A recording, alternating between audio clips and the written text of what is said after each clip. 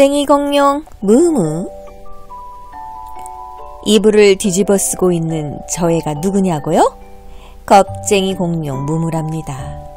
무무는 엄마가 불을 끄고 나가는 게 무서워요. 문에 걸린 가운이 꼭 날개 접은 익룡처럼 보이거든요. 무무는 잠자러 가기 전에 아빠한테 꼭 침대 밑을 봐달라고 해요. 거기에 커다란 괴물이 숨어 있을까봐 무섭거든요. 혼자 있을 때 이상한 소리가 들리면 무무는 어쩔 줄 몰라 해요. 그게 냉장고 소리라는 걸 알면서도요. 무무는 길을 잃는 게 정말 무서워요. 언젠가 브론토 버거 가게에 갔다가 엄마 아빠를 잃어버린 적이 있었지요. 다행히 엄마 아빠가 무무를 찾아냈어요. 못된 깡패 공룡이 근처를 어슬렁거린다는 소리를 들었을 때도 무무는 정말 무서웠어요. 그래서 눈에 안 띄게 꼭꼭 숨는 법도 배웠답니다. 뼈보드를 타면서 새 기술을 배울 때도 무무는 몹시 무서워해요. 공룡 아일랜드에서 놀이기구를 탈 때도 그래요. 아빠는 안 무서운 척 하지만 사실은 무서워한다는 걸 무무는 알지요. 엄마와 아빠는 무무가 언제 무얼 무서워하는지 잘 알아요. 무무가 무서워했던 일을 이야기할 때면 침착하게 귀를 기울여 준답니다. 엄마 아빠는 가끔 자기들도 무서울 때가 있다고 말해요.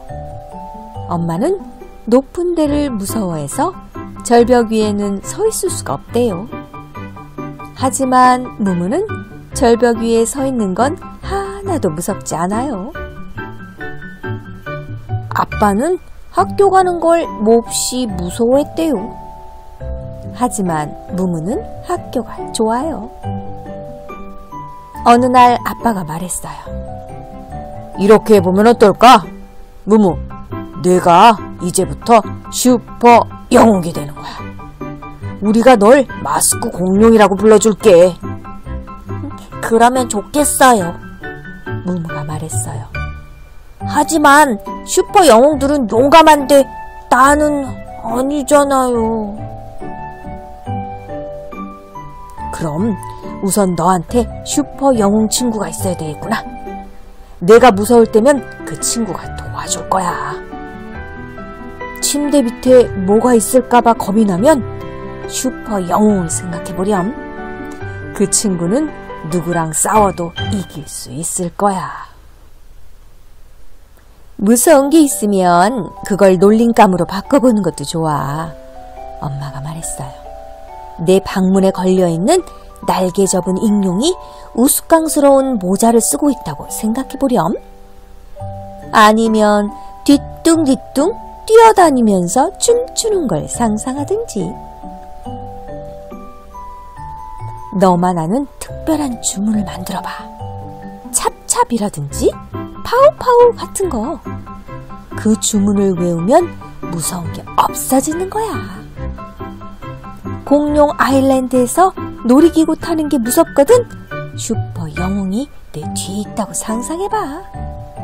그 친구가 너를 꼭 붙들어주고 있다고 말이야.